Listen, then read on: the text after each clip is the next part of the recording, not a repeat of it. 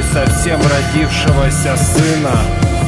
Бог — это отраженная от луны свет солнца на стене старого вокзального сортира. Бог — это машинально зажатый между пальцев зеленый листок. Бог — это школьники, второй век читающие про Герасима и его щенка. И также те из них, что опоздав, так и не пришли на урок. Бог — это удар кинжала.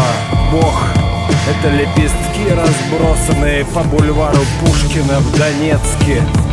Бог — это звуки самого веселого в мире оркестра. Бог — это одновременно и глина, и тесто. Бог это женщина в трамвае, вдруг уступающая тебе место. Бог это то, что вокруг и то, что вместо. Бог — это самое лучшее и сильнодействующее средство. Бог это его кусок мяса и твоя слюна, которая выделилась сама. Бог — это первый глоток вина и последний недопитый стакан воды. Когда уже все равно, наполовину он что? Бог — это, конечно, недочитанный Марсель Пруст.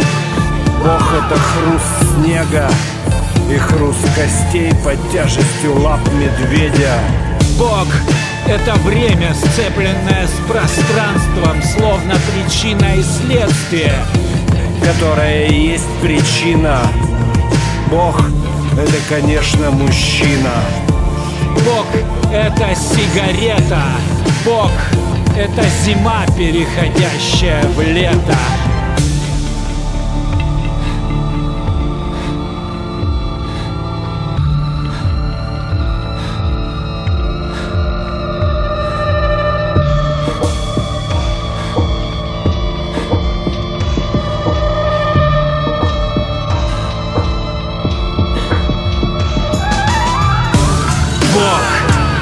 Блеск волн.